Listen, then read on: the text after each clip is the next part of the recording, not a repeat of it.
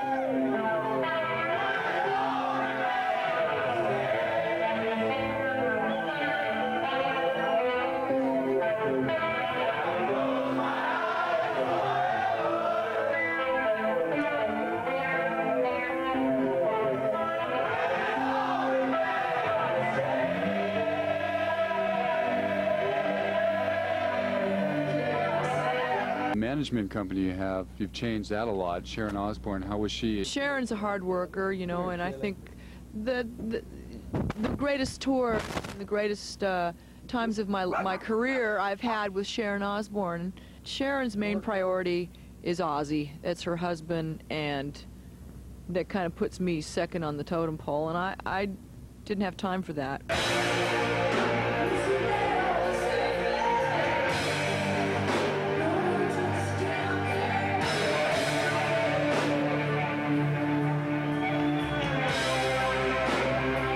recently got a Lifetime Achievement Award. Hmm.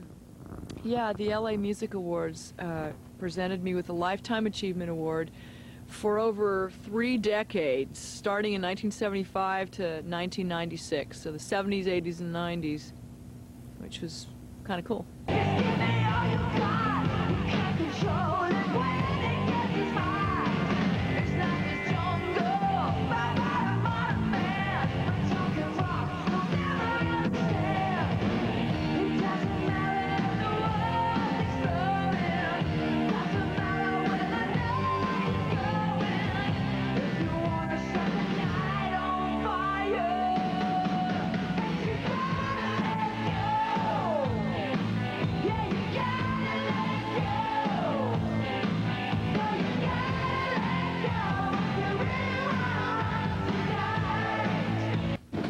These are both the same albums, Notice one is autographed.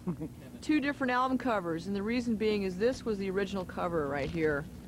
And what happened was, is I don't know what year it was released. It was a while ago. What happened was, was when this came out, a lot of stores refused to put this in their store because of the album cover had blood on it, That's what my mom didn't like. and uh, I wasn't completely dressed. So we changed it to this lovely album cover right here. It said "Eat Me" on the fretboard of the guitar, but they airbrushed that out.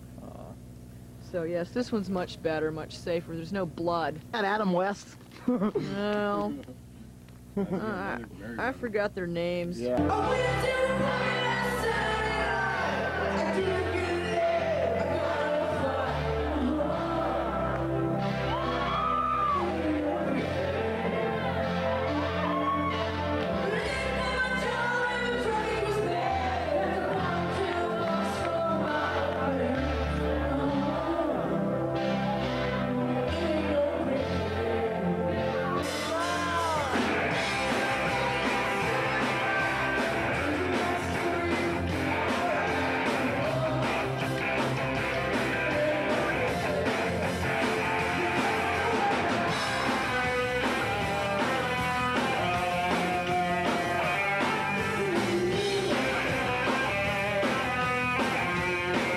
Boys reunion, like Sandy West was saying at the show. We gotta have a reunion. We gotta go do it. No, I don't think there ever will be because I think that Joan and her, her manager won't allow it. I've already actually tried to do it a couple different times, and I haven't gotten any response from, from Joan or her manager.